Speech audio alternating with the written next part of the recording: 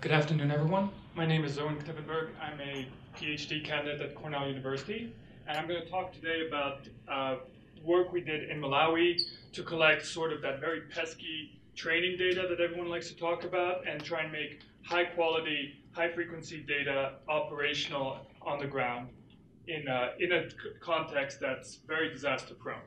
So our area of study was southern Malawi, Chikwa, to be specific, Chikwawa district in southern Malawi, which is an area that has been hit by multiple uh, shocks over the past couple of years, starting with massive flood in 2015, uh, drought driven by an El Nino oscillation in 2017, and then most recently, a large upsurge in uh, fall armyworm, which, as mentioned earlier, is an agricultural pest that's devastating corn crops there.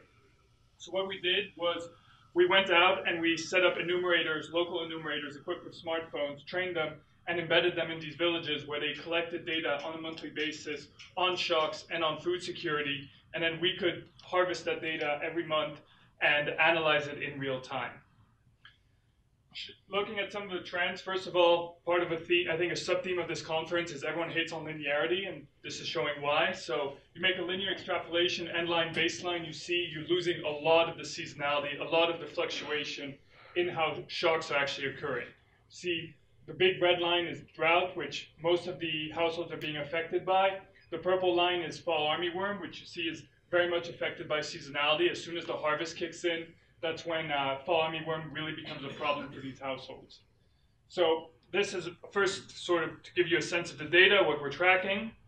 Then what we wanted to do was actually use machine learning algorithms, specifically lasso and random forest, to predict based on the trends we had, the seasonal trends we had, what the future incidence was on shocks. And what you see here is at a very localized level, this is our prediction of where exactly uh, acute food insecurity is going to be. We compare the actual outcomes to the outcomes of our two algorithms. And what we want to do next, and what we're in discussion with um, both the Malawian government and researchers on doing, is we want to extract, we want to um, layer this over both geospatial data and CDR data, which we are securing access to in order to extrapolate and make out of sample predictions for the region and ideally at some point for the entire country of Malawi.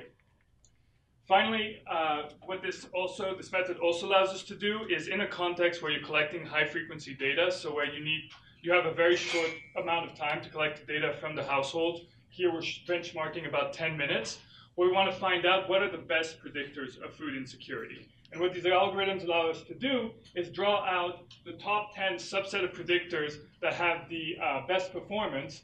And some of these are not surprising. Some of these include previous food insecurity and location, but some of them can be a little less intuitive. Things like distance to drinking water, quality of floor, quality of roof, are giving us some indication of what, what exactly is driving food insecurity. And if we can only collect 10 variables, these are probably the 10 variables we want to collect.